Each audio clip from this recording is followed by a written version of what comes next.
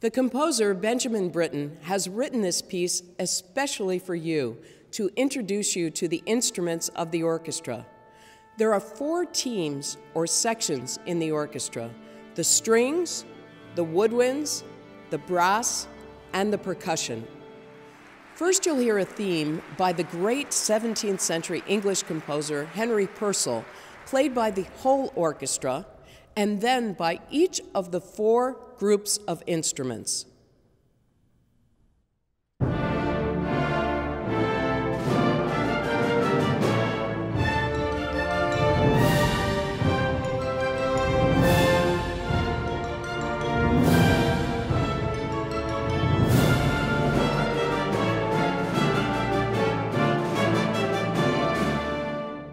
The highest voices in the string family are the violins.